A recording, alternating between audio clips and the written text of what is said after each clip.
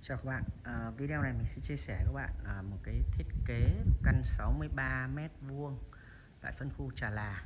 Thì à, Trà Là có 1.801 căn, Trà Là mở bán đầu tiên với ngôn ngữ kiến trúc phương Đông.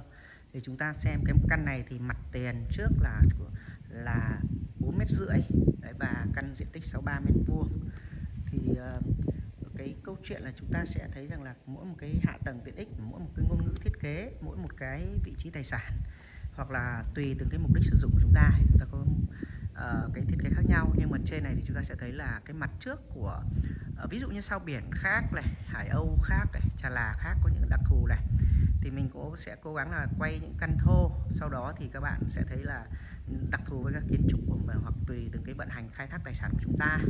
Thì ở đây cái cái cái ngôn ngữ kiến trúc phương Đông thì chúng ta thấy là tùy từng cái căn có những cái căn sẽ vào cái vị trí mà ờ, tức là chúng ta không có cái ban công cái điểm trên này. Thì ờ, hoặc ban công chúng ta có thể dễ hiểu nhất là ban công nhỏ ban công to.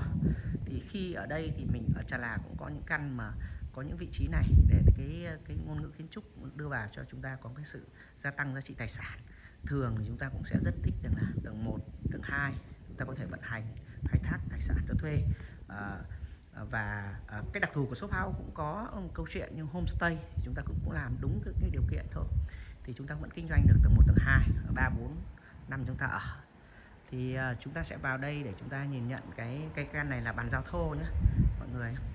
Thì bây giờ chúng ta sẽ đi vào căn này. Thì uh, mặt tiền là 4 mét rưỡi căn này là có thang bộ. Có thang bộ thì chúng ta nếu như một số các cái nhà thì ờ, chúng ta cũng vẫn cứ như thế này ờ, một số các tiêu chuẩn bàn giao thô của chủ đầu tư ấy, thì chúng ta sẽ đi như này mà chúng ta ờ, làm hoàn thiện lại cầu thang mà chúng ta sử dụng. Và có những người thì lại tách ra hai cái bỏ cái thang bộ này đi và đưa vào phía cuối lắp thang máy thì nó sẽ tối ưu hơn cái không gian. Đấy còn nếu không thì chúng ta vẫn như này và giữa tầng của chúng ta thì chúng ta cho một cái toilet. Thì ở đây đằng sau này thường hai cái block thì cách nhau là 4 mét thì từ tim tường của chúng ta ra đây cái này là sẽ là 2 mét. Thì đây đấy, thì các bạn sẽ thấy đây. Trà là ví dụ các bạn sẽ nhìn thấy một căn mình quay đầu tiên ấy, là căn um, chỗ đấy là trà là 13 23 đấy, thì bạn ấy cũng thiết kế rất là tối ưu à, cũng thang bộ. Đấy nhưng mà có cái sự thổi hồn vào. Bây giờ chúng ta sẽ đi lên tầng 2 à, ờ, có những cái căn cũng là 65 nhưng mà diện tích mặt tiền lại là nhỏ lại 14 4 mét ấy, thì câu chuyện lại khác. Nhưng căn này thì mình thấy tùy từng vị trí nữa thì mình thấy là căn này mặt tiền là 4 mét rưỡi cũng khá cho chúng ta thiết kế cái nhìn đằng trước nó vào bề thế. À, mặt sau này thì à, có một cái hành lang mọi người cũng sẽ hay cải tạo và cho cái uh, cái cái hoa hoa vào. Thì còn đây thì nếu như các bạn để như này thì mình thấy rằng là có những người là cho cái này thì chỗ vị trí này sẽ là cái toilet thì chúng ta dùng chung.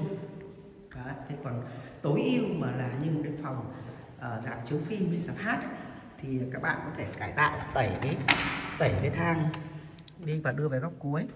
Đây là phía này của chúng ta đây. Thì chỗ này đây đối diện của chúng ta đây. Căn này mình có thể nói ví dụ như nó là căn ban công to. Đấy. thì bây giờ chúng ta sẽ đi lên tầng tiếp theo. Và à, có những cái à, à, một thiết kế mình đã quen. Thì bạn thiết kế cái bên trên mái rất là đẹp bắn máy kính rất là đẹp. Còn ở chỗ này thì à, nếu như một số nhà mà chúng ta thích cái vận hành hôm tây hoặc là à, cái cuộc sống thì chúng ta có thể tẩy cái cái thang máy này đi sau đó cho thang bộ thang máy vào phía trong. Thế là chúng ta được một cái phòng khách à, nếu mà cho thuê thì các cái đơn vị vận hành họ vận hành cũng rất là đẹp. Thì à, cái đấy mỗi mục tiêu công năng tài sản của chúng ta. Còn à, chúng ta có các cái thế hệ nữa tức là trong nhà chúng ta có bao nhiêu người? Chúng ta định định hình định hướng tài sản như thế nào? Thế còn đây lên đến tầng 3 thì nếu như đẩy dồn thì chúng ta vẫn tách được hai phòng. Thế còn uh, câu chuyện thiết kế thì với tùy uh, mình cũng quen rất là nhiều các đơn vị thiết kế để đưa cho các bạn giải pháp về kiến trúc. Thì đây các bạn sẽ thấy đây. Cái này của chúng ta đây. Thì đây cái căn này thì có một số mình đã quen một bạn bạn ấy cái bắn mái này lên này. Đấy bắn mái lên này rất là đẹp cái máy kính tre. Phù hợp với các yêu cầu quản lý của ban quản lý. Đấy thì đây chúng ta sẽ đây. Đây căn của chúng ta đây cái ban công to nó chỗ này. Đấy đúng chỗ này. Đấy.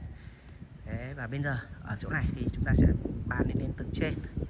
Thì uh, ở đây trà là thì không bao giờ không cái thông tin mới nhất là chủ đầu tư sẽ xây dựng ờ, dạp uh, như là dạp chiếu phim này dạp hát này uh, trung tâm tiệc cưới đâu đó với sức chứa 10.000 người.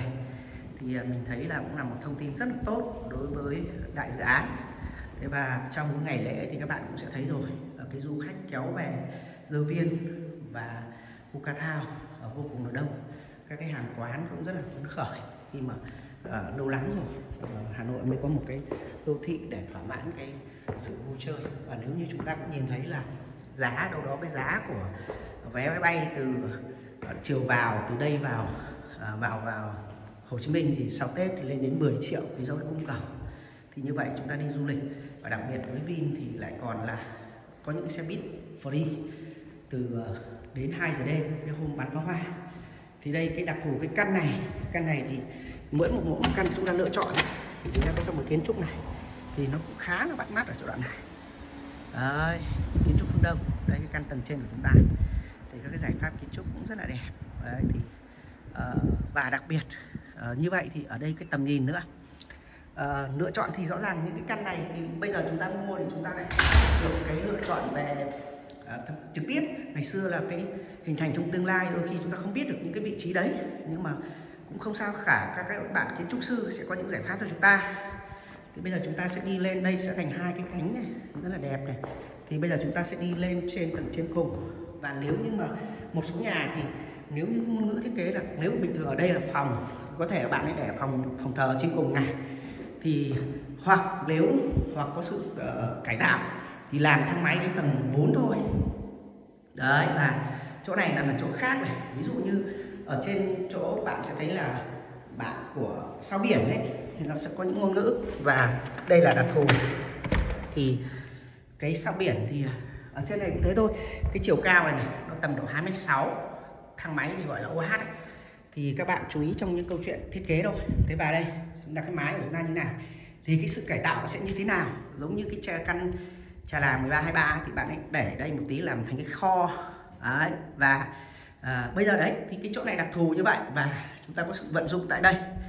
Đặc biệt là cái câu chuyện của lover này, là cái uh, câu chuyện của cục nóng lạnh của máy điều hòa này và cái để cái đất nước. Thì chúng ta đã có những giải pháp và mình cũng có những đơn vị đã xử lý rồi. Thì ờ, cái làm sao tối ưu được cái không gian này và nhất là chỗ này. Thế nếu như mà cái căn mà nó không có cái này ví dụ sau biển chúng ta sẽ thấy là ban công nhỏ ban công to đúng không? Thì ở đây đặc thù của trà lá nó sẽ như thế này. Thì chúng ta đưa cái nét kiến trúc vào thôi đưa kiến trúc vào đây. Thế và đặc biệt là chỗ này thì uh, như căn trà lá 1323 thì bạn cải tạo thành một cái sân vườn một tí trồng rau và kể cả là đây thành cái kho này.